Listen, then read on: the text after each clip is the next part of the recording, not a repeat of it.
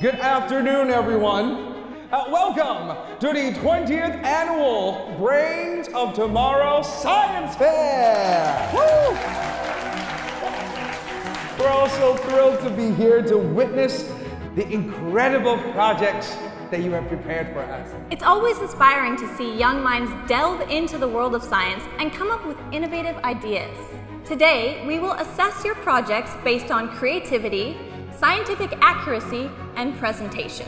Remember, this is not just a competition, but an opportunity to showcase your passion and knowledge. We encourage you all to explain your projects to us with enthusiasm and clarity. Oh, also, uh, by the way, there's a $5,000 prize. But remember, everyone, this science fair is not just about winning. It's about learning, sharing ideas, and inspiring each other to continue exploring the wonders of science. As it's our 20th anniversary, we have a special guest judge joining us today from our sponsoring partner, who has supported and made this possible for all schools involved, our director and benefactor, Mr. Alan Tan.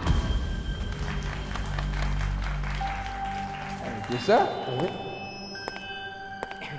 Today, the judges and I will be visiting each project individually. We'll be asking questions and evaluating your work. So show us how much you understand your subject matter and the efforts you put into your experiments.